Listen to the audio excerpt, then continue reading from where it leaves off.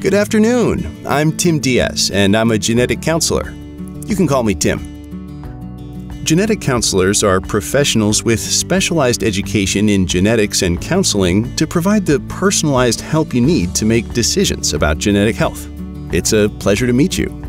You're here today because Paul has a genetic condition. Good afternoon, Tim. What does that mean? How did this happen?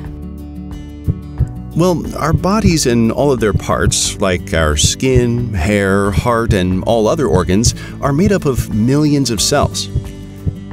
Cells are the smallest units of our body. They maintain and take care of the function of our body.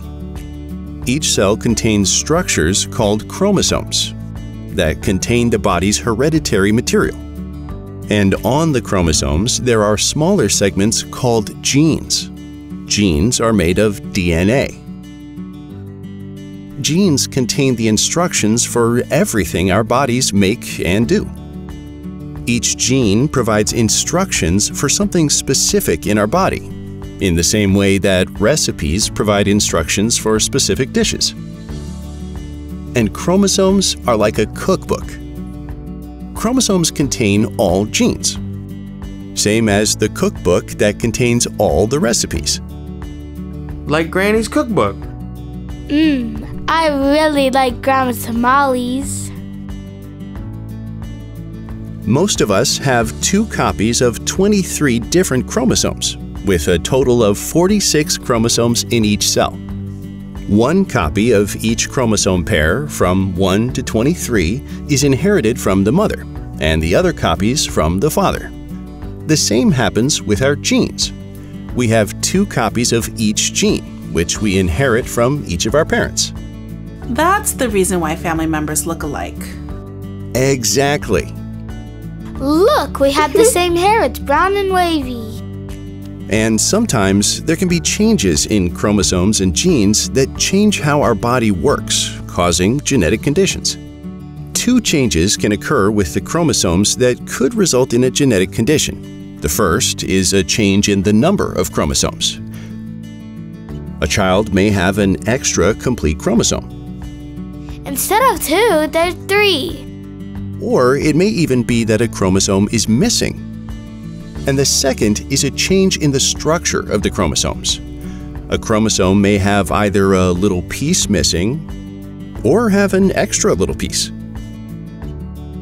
These chromosome changes can create changes in the way the body or brain develops and functions.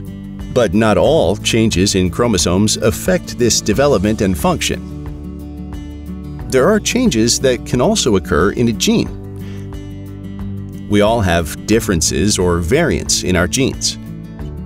They are what make us unique and different from others. Most variants in genes do not cause significant changes in the health of the body. It's like when there are two recipes for tamales and only one ingredient is changed. For example, the tamale can be pork or chicken, and that doesn't change the recipe much. They're still tamales.